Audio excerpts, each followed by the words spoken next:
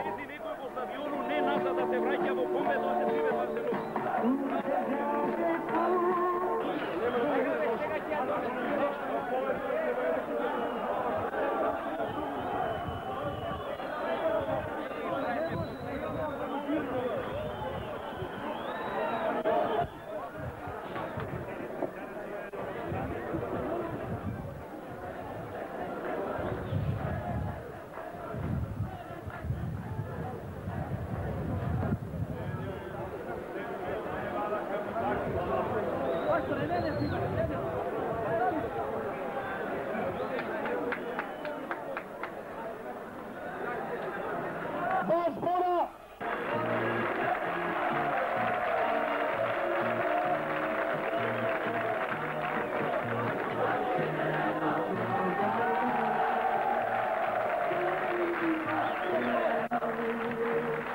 Yeah.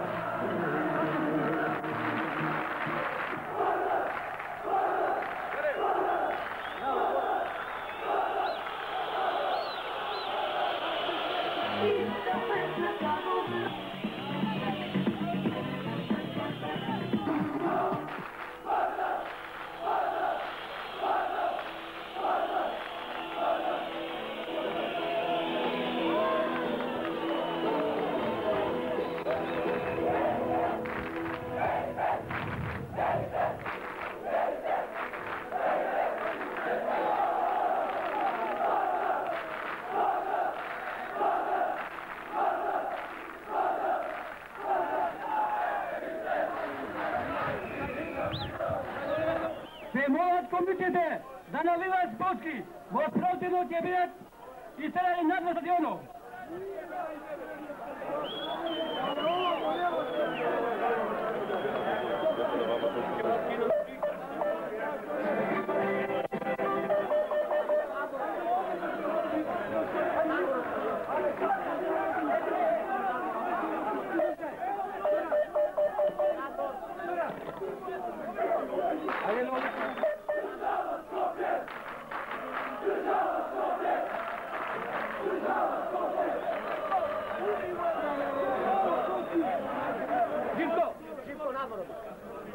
Cu infrastructura mai e.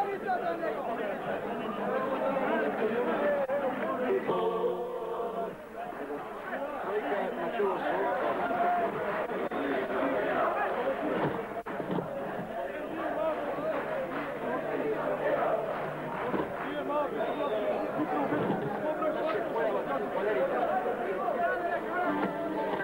Europski program su vidjela da istraže na terenu.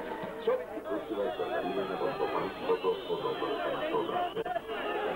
Тесово, Љубосен, Палев Скопје, втора, второлигачка средба беше 0 спрема 0. Булевски кој дојде во Восов? Да, беше 0 спрема 0, сега Љубосен дојде во водство. Во 36-та минута домашите успеа да преминат во водство преку Дарко Стојановски. Тој мајсторски ја прифати силно нафрлената топка од слободен удар кој го изведе Мијалче Маджунаров, а со силен шут го изненади голманот Карго. Многу интересен надпревар во Тетово, многу возбудувања, нервозна и на моменти груба игра од одделни фудбалери, како на Љуботен исто така и од Пален Скопје. Сега сете екипи играат со по 10 играчи. Најправилно игра е исклучен на осинскиот играч Степановски поради физички напад на Маджунаров во четвртата минута, а 20 на минути подоцна црвен картон доби и Јакимовски на Љуботен, кој предходно имаше жолт картон, а потоа го фаулираше Аламероди. Па, по 40 минути игра во Тетово Љуботен Пален Скопје 1 спрема 0. Два црвени картона беа покажани и на средбата во Скопје, меѓутоа пред да минеме на стадионот на Железарница, предност има Тонија Мечеви каде што има промена на резултатот, па еве во Кочани е постигнат гол на средбата од Согова Брегалница. Да го чуеме Александар Мучи. 1 спрема 0 за Брегалница. Голема радост на стадионот и тоа на она место каде се наоѓа навивачите на. Една најдобра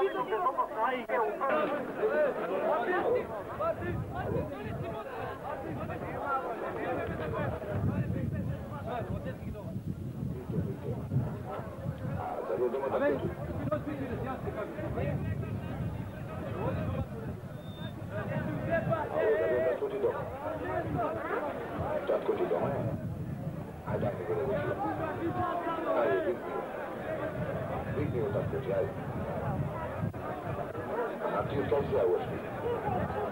Llega Tio Kaisauer. Alô, a